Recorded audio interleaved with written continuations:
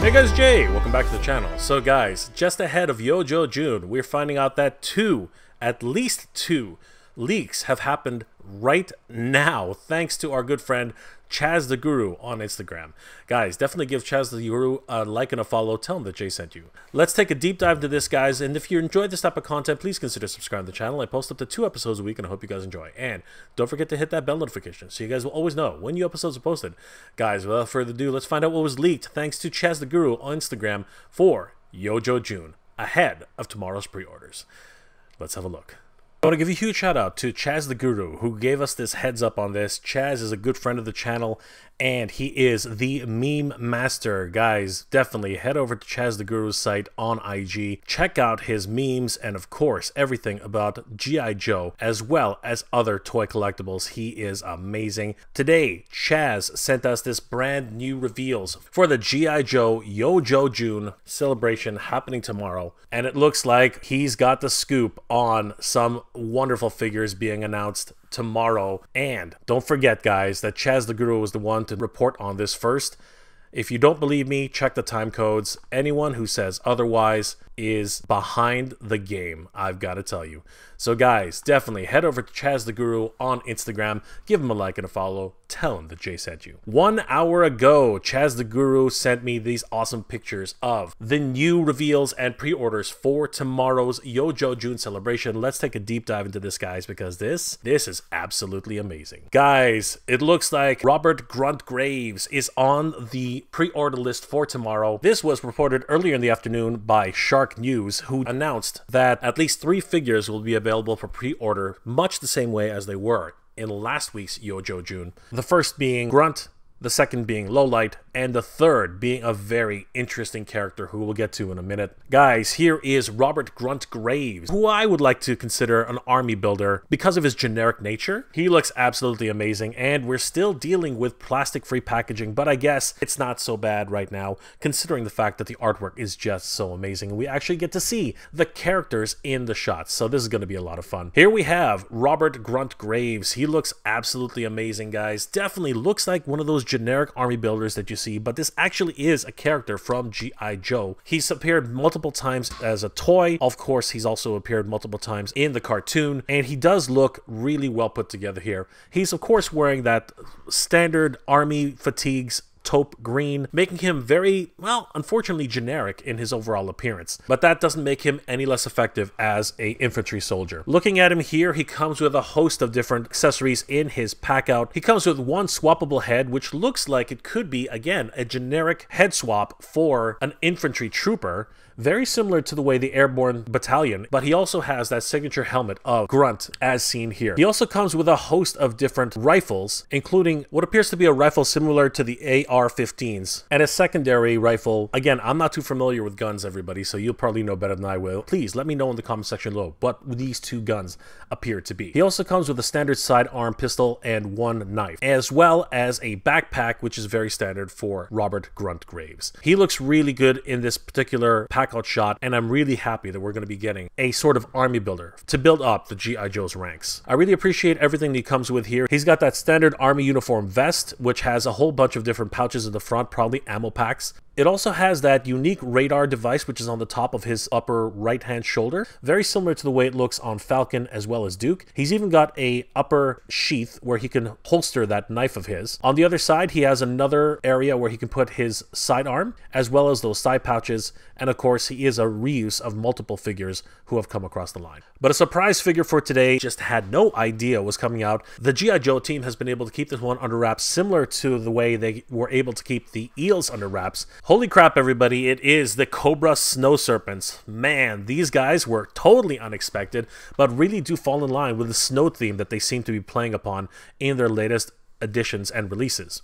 These guys look absolutely ferocious, and doubly so considering they have these crazy wolf skins that they're wearing on top of their backs. I'm amazed they actually went with this type of idea. I'm thinking that they're synthetic wolf skins. I'm really not 100% sure. But the fact that they do survive in sub zero temperatures, you have to do what you have to do, I guess. You can see here that they are 100% an army builder and they do look freaking amazing in these wonderful photographs. I can't wait until we get these guys into our collections. Holy crap, everybody. The pack out for these guys indicates that they are, of course, a deluxe pack out. Oh my goodness, look at the look at everything that these guys come with. Obviously, they come with the snow serpents themselves in that traditional look that they have from the cartoon, from the original toy. They have multiple badges on the left and the rights of their arms. They have that pouch accessories strapped to the front of their uniforms. They have all of that snow covered gear with additional fur laced shoulder pauldrons as well as forearms to protect themselves from the frigid winter cold. And of course, those crazy thigh pouches, which are able to holster several different weapons in each of them. And then we move on to the actual accessories themselves. There are a lot of them here, guys. They seem to have a surface to air missile or bazooka type of weapon, two sidearm pistols, one larger pistol with an actual scope, a pair of goggles which they can use to block out some of the sun rays when they're reflecting off of the snow. They have one small knife, what appears to be a cartridge for that larger pistol, a backpack which I imagine can holster some of these uh, weapons, especially these bazooka missiles, which I imagine are utilized in this bazooka itself. They also have, as we mentioned earlier, wolf's head and wolf skin, which they use to keep warm under the most extreme temperatures.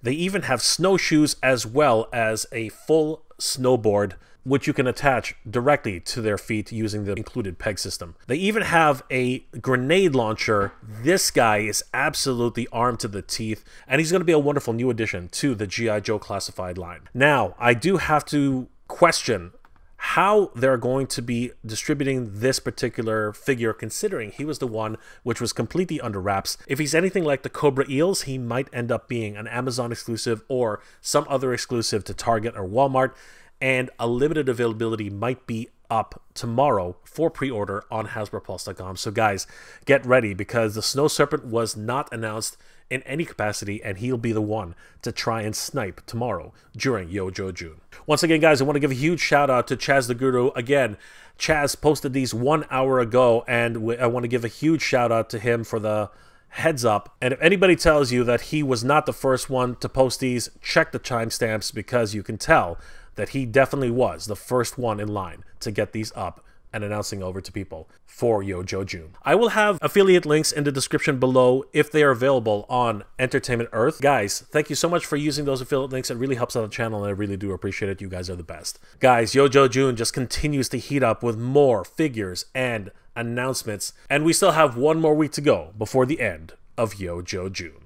Wow, guys, leaks just keep happening over and over and over again. It makes you wonder, doesn't it? Where are these leaks coming from? I wonder if the G.I. Joe team is actually letting a few things slip through the cracks in anticipation of Yo Joe June. Guys, let me know in the comment section below. Are you going to be putting down your money for pre-orders tomorrow for Lowlight, Grunt Graves, and of course the Snow Serpents, which I think could possibly be a Hasbro PulseCon exclusive or an exclusive to either Amazon, Target, or Walmart? Or are you kind of fed up about this whole idea of chasing down these exclusives and these pre-orders that keep running out so quickly on Hasbro Pulse and the other exclusive places which they have partnered with? Let me know that in the comment section below, guys. If you enjoyed this episode, guys, please do leave me a like. It really helps me out. And if you're in the position to help out the channel, please consider checking out my Patreon page. It's Mega Jay Retro on Patreon. Guys, the patrons of the channel help me make wonderful episodes every single week, and I couldn't do without them. They are the best. Thank you so much for your support, everybody. It really means the world to me.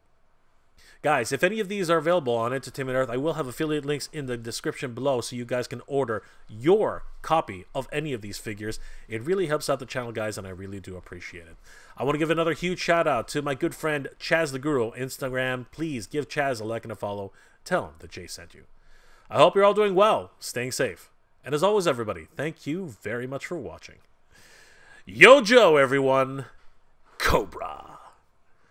Good journey. Geek Proud. I want to give a huge shout out to all my Patreon and channel member supporters. Thank you so much, everybody. It's thanks to your support that this channel continues to grow, and I really could not have done this without you. You guys are the best. Thank you so much for your support, guys. It really means a lot and really helps channel to keep growing.